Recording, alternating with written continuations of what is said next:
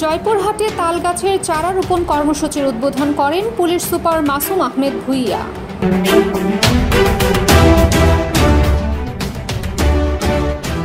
Desh news TV সারা দেশ সারাদিন staff reporter Niren Das.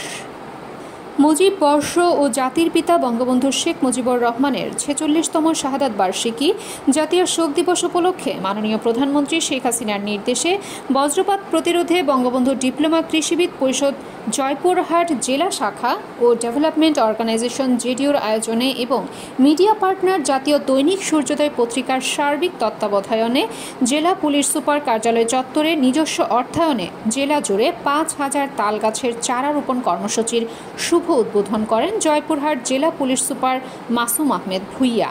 PPM সেবা।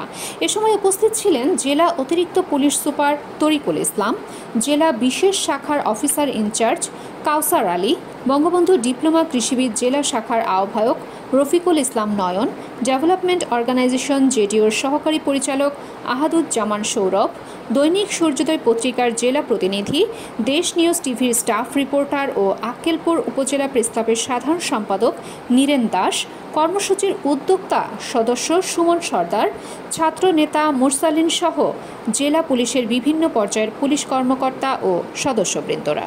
উদ্বোধনের প্রথম দিনেই পুলিশ সুপার কার্যালয় থেকে জেলার বিভিন্ন স্থানে নিজস্ব অর্থায়নে আশিটি তাল গাছের চারা রোপণ করা হয়। পর্যায়ক্রমে জেলা জুড়ে সর্বমোট পাঁচ হাজার তাল গাছের চারা রোপণ করা হবে।